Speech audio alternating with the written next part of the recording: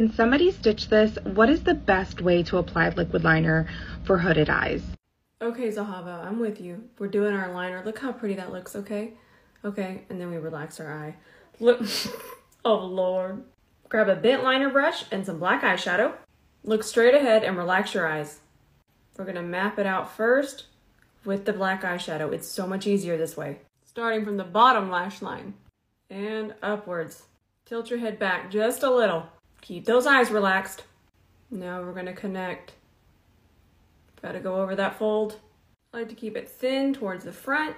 Best liner ever for hooded eyes. I know it's pricey, but I have not found a better one and I've used everything. Now we're gonna trace over the eyeshadow. I'm telling y'all, this is so much easier. Also, don't be afraid for your liner to be a little crooked like that. It's really how it looks straight on. Don't worry how it looks with your eye closed. I hope this helps Zahava, and I hope that this helps everyone else too.